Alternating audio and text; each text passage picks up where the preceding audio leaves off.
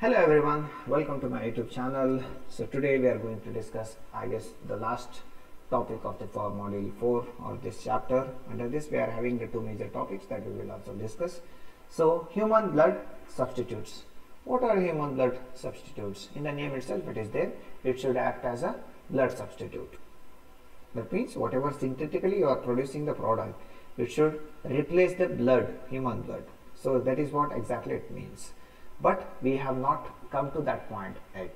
Okay a lot of research are going on. Some there were uh, you know successful studies are there but not commercially or not practically applicable for all hospitals or, or you know uh, available in worldwide. So human blood substitutes are synthetic products nothing but we are preparing it.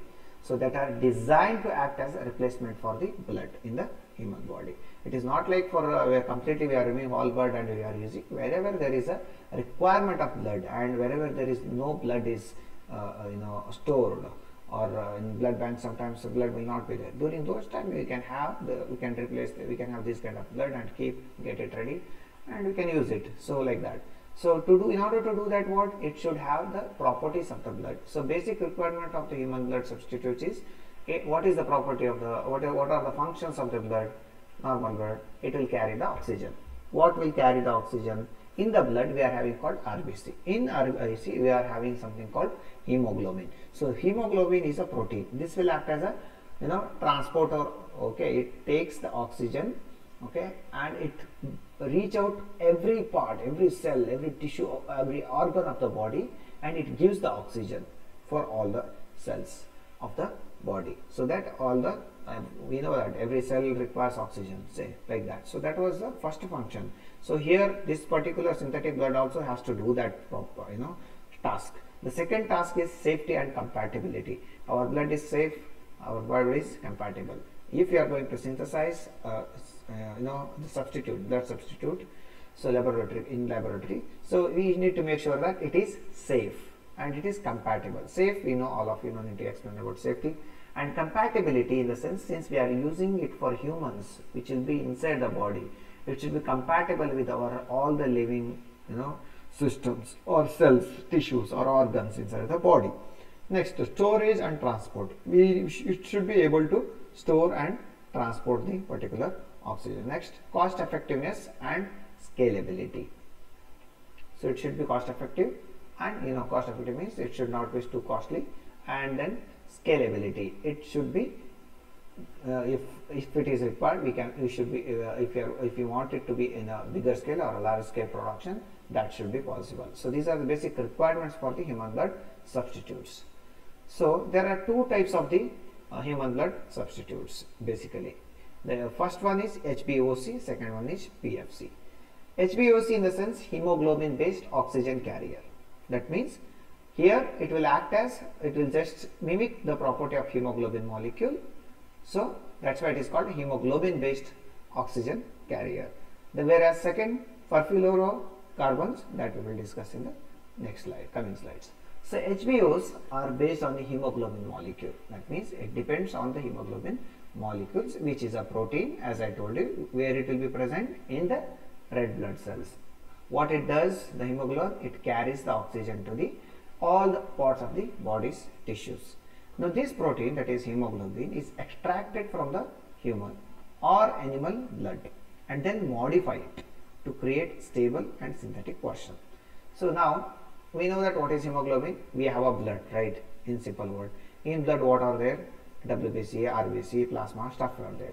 Inside the RBC, RBC is responsible carrying the oxygen. But what exactly presents uh, in the RBC is hemoglobin. That this particular hemoglobin is a protein which carries the oxygen to the all parts of the body.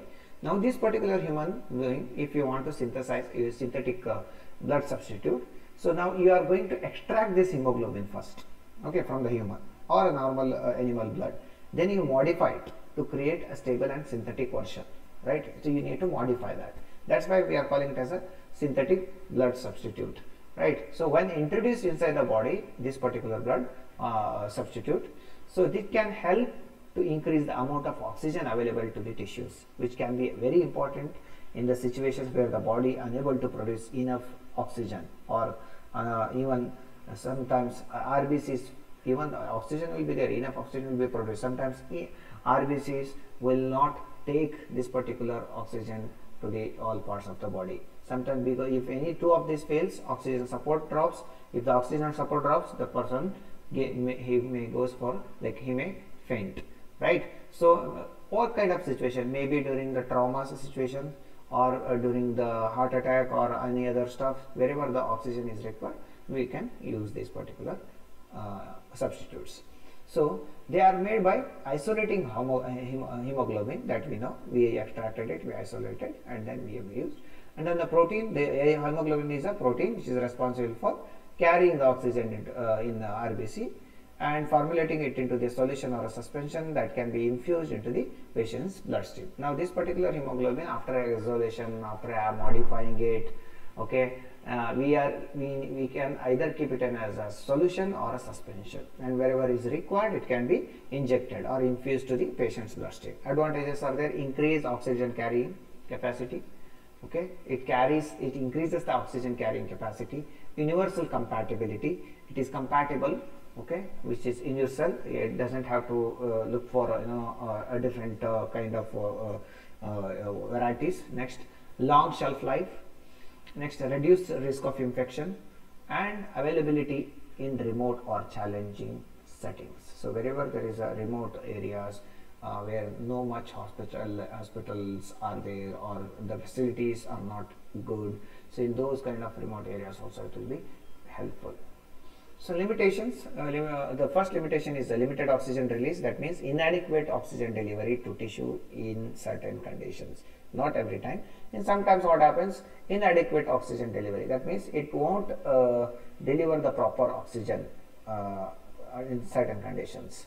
So next, short half-life. There is a difference between uh, uh, you know what you call shelf life and short half-life. Here, this means that the, this particular blood carrier or a substitute they may be rapidly cleared from the circulation and suddenly when it can be cleared so that reducing their effectiveness and requiring more frequent doses or infusion that means if i want this substitute for a, you know for a month or a, you know for years i cannot use this so whenever there is a kind of situation i can use it because it will be taken out uh, from the bo uh, body very rapidly next nitric oxide scavenging that means we know that excessive nitric oxide scavenging by this HBS can lead to the uh, vasoconstriction. Before uh, understanding this, we need to know why we are talking about nitric oxide. So nitric oxide is uh, responsible for the smooth movement of the blood flow or the smooth flow of the blood in the inside the capillaries, blood capillaries. So if the excessive nitric oxide scavenging is there, that means that is damage is done by this particular uh, uh, this hemoglobin based uh, oxygen carrier what happens that can lead to the vasco sorry vasoconstriction and impairing the uh, that means it will damage the blood flow uh, to it will damage the, the vesicles so it will damage the uh, blood flow that means damage in the sense it will affect the blood flow to the vital organs and potentially causing adverse cardiovascular effects. If vital organs, that means very important organs, doesn't uh, uh, gets blood on time, then definitely it is going to affect you know uh, to the blood pumping. So ultimately, it will affect the it will have the cardiovascular effects. That means heart heart attack related stuffs. Renal toxicity is one more disadvantages. It, it has shown a potential for renal toxicity causing damage to the kidneys because it, since it is synthetic and kidney is known for filtering the natural blood so since kidneys has to adapt for this particular this thing so there are a lot of studies where they, uh, they have showed a, there is a kind of toxicity in for to the or it can damage the uh, kidney next immunogenicity and diverse adverse reactions so what happens immunogenicity? So because of this, uh, this this is a synthetic blood, right? So that can trigger immune responses in body. So when there is an immune response, we have uh, in the earlier classes in the module one we have talked about what is immune system and what, what immune responses and all. So they potentially leading to the allergic reactions or other adverse events will be there. So we know that what is immune system? It is nothing but a defense mechanism of a human body or any organism's body. Any, every organ body will have its immune system. That means if anything, if mosquito bites, it leaves its antigen. So if any microbes infection is there, uh, if their antigens will be there. So this our immune system will act as an army. So it will provide, it will produce the antibodies and it will go and hit this particular antigen uh, like the how the Jawans hit uh, the um, enemies with the guns. Similarly, it will go and attack and gets gets it killed so that our body will be safe. Okay, same mechanism. Uh, what uh, the defense mechanism works in the in the border of every country. Same mechanism. Uh, immune system works. Next, regulatory challenges. So we know that if any uh, any anything new which is going inside the body okay like uh, it may be the drug or it may be the any kind of technological related issues are there or synthetic drugs are there synthetic any devices are there. They have to go uh, you know very rigorous regulatory scrutiny. Why? Because it is we are it is a matter of life. So we will check first on animals that is called as preclinical studies and then followed by the clinical studies that is for humans. Remember always remember preclinical in the sense First is checking on the animals. You might have seen in movies they will take the rats, they will inject stuff, all others, and then if they succeed, then they go for the any uh, humans. Humans clinical, animals preclinical, right?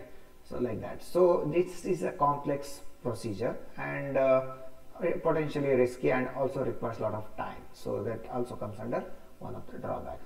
So next interference with the diagnostic tests, the next disadvantage. Definitely since this is uh, synthetic blood, it interferes with certain laboratory tests, for example, measuring the liver enzymes.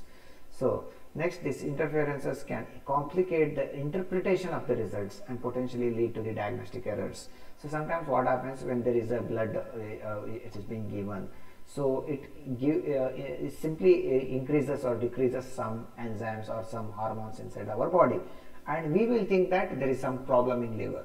And that will that is nothing but diagnostic error. Diagnostic error in the sense when you are detecting some disease or you are detecting something uh, okay and if that is not proper then we are calling it as diagnostic error. Because diagnosis in the sense detecting the disease. Whereas uh, therapeutic in the sense we are treating the disease Examples. There are examples, uh, many examples of HBOs are there, which is prepared by the different companies, pharmaceutical companies and all. So Hemopure is an HBOs that is made from the bovine hemoglobin. That means it is extracted from the bovine hemoglobin, uh, hemoglobin uh, from animal or human being. So it has been approved by the use in, uh, so approved for the use in South Africa, Russia and some other countries, not all. So oxyglobin, next one. So oxyglobin is again another type of this particular uh, uh, hemoglobin, uh, hemoglobin uh, uh, based oxygen carrier that is made from the bovine hemoglobin again. So it is approved for veterinary applications or use in US and has been used to treat anemia in dogs. Next we are having hemospan. Hemospan is an again uh, hemoglobin based oxygen carrier that is being developed by the uh, Sangart INC, is one of the company. So it is currently in clinical trials. Now you know what is clinical trials, right? That means currently in clinical trials means it is it passed the preclinical trial. That means it is it was successful for animals. Now they are checking it on human beings. So and has shown promise promise in the increase in the oxygen delivery to the tissues. So it is uh, shown promising me in the sense that because we got a result from the preclinical. That's why we are in clinical.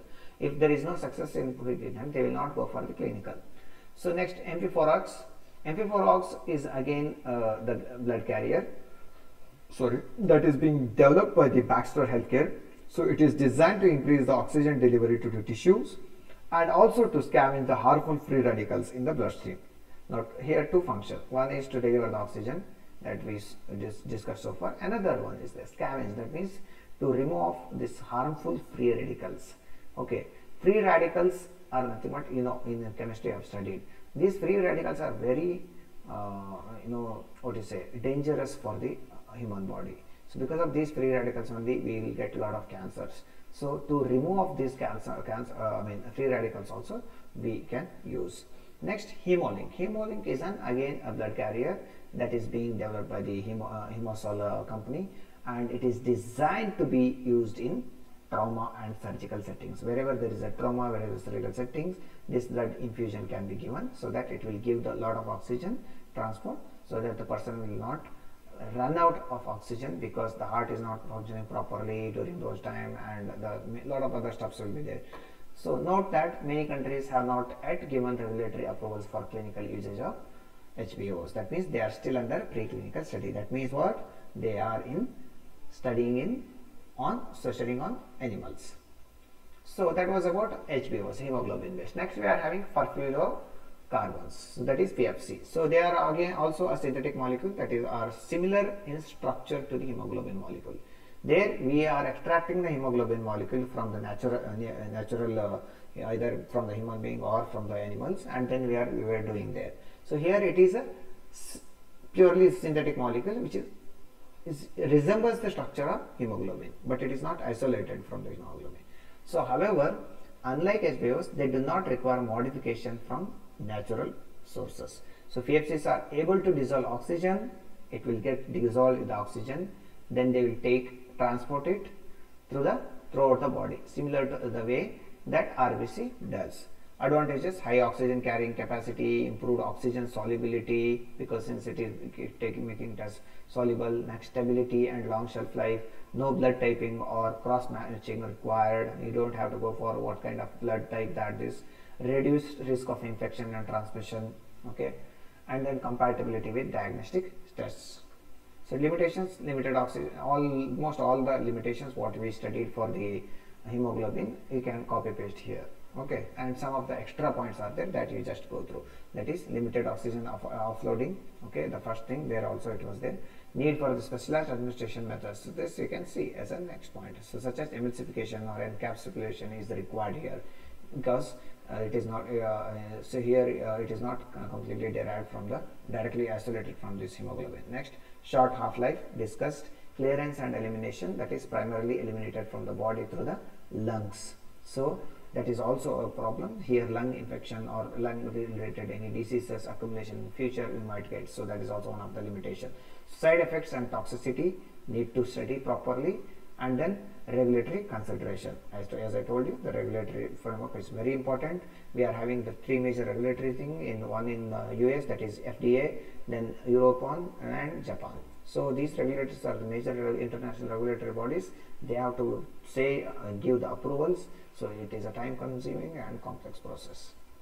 Examples again we as we discussed uh, in uh hemoglobin here also PFC also we are having the some of the examples that for example for uh, Furftro uh, sorry Perftoran. So Perftoran is nothing but again PFC that was developed by in Russia which is used in several countries including Russia, Ukraine and China. It has been used in treatment of variety of conditions including trauma, heart attack and stroke.